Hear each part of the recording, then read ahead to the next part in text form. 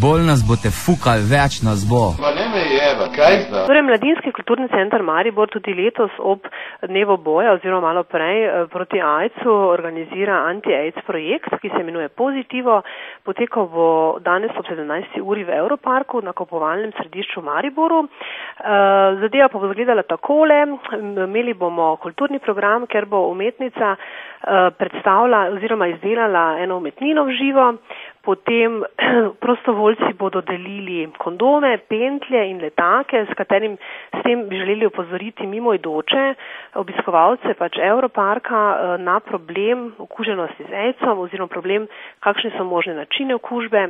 Malo se že pozablja, pozabljamo, da dejansko AIDS še je vedno tukaj, še vedno je problematičen. Sploh v tem letu se v svetu naraslo ponovno število okuženih tudi v Sloveniji. Hkrati bo pa tudi potekala eh, plesna točka eh, plesne šole za pleši si.